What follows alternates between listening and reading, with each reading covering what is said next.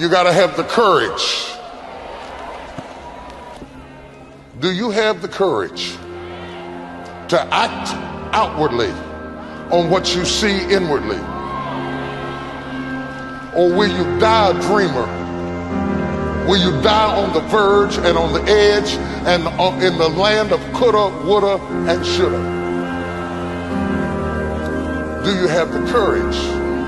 I'm, I'm going to drop something on you. It takes courage to be successful. It is far easier not to be successful. Misery will always have company.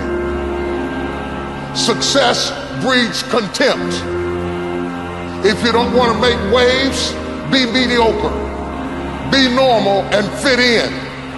And if you're more concerned about people than you are God, then neutralize everything He put in you. Just fit in with everybody else dress like them, walk like them, act like them, eat like them, go where they go, think like they think, do what they do. And once you've neutralized your uniqueness, you don't need courage. It takes courage to be different. It takes courage to go where you've never gone before.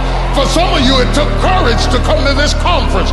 It takes courage to get you outside of the bar. It takes courage to be successful. It takes courage to win.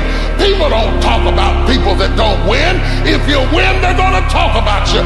Do you have the courage to stand there though the storms keep raging and the people get to talking and you stand there and say, I've come too far to turn around?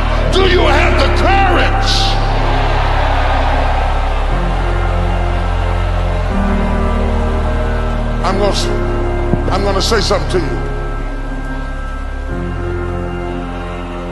It takes courage to be exceptional. It takes courage to be wise. It takes courage to be rich. It takes courage to be educated. It takes courage to be knowledgeable. Because the moment you do, but you, you don't talk like you, oh, you don't got, forgot where you came from. Look at you, talked it. It takes courage. And I'm just wondering, in this weak, watered down, mediocre society that we live in today, in this reality TV world we live in today, I'm wondering if there's anybody left that's got the courage to say, after all I've been through, and all my ancestors have been through, and all my parents have been through. I didn't come through all of that just to fit in with normalcy. I have the courage to go after my dream. Is there a woman left in this entire Coliseum